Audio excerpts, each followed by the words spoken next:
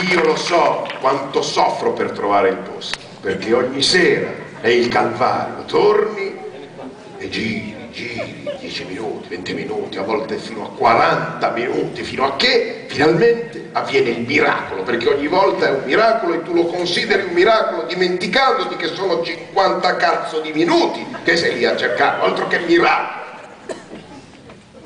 E io vedo dall'altro vetrato di un una persona che dal movimento della mano sulla tasca vede che all'interno della tasca stessa ha un mazzo di chiavi di una macchina parcheggiata fuori, io lo punto e non lo mollo più. Intanto attorno a me si è scatenato l'inferno, frecce, doppie frecce, retromarce di chilometri, inversioni a U, gente che si sbraccia, ma via, è mio! Stiamo calmi, sono qui dalle sette e un quarto, è mio! Solo che a me non capita mai quello bello dinamico che arriva, telecomando, apre la portiera, accende il motore, retromarcia, mi lascia il posto. No! A me capita sempre quello che arriva con calma. Tanto c'è tempo.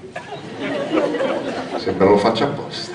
Capito benissimo che io punto al suo posto. Lui se la prende conto. Si guarda intorno. Osserva il suo quartiere con occhi nuovi. Poi fa le finte. Prima vai uno, poi va là. Quante cazzo ne hai di macchine? Devi scegliere quale usi stasera. Poi finalmente si decide. No, a te non ti mangio, eh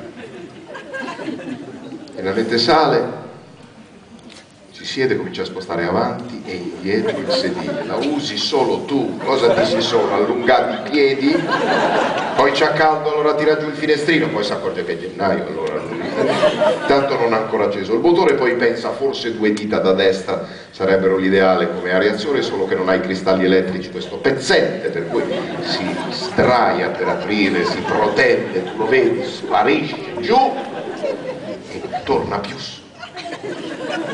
Cazzo è morto.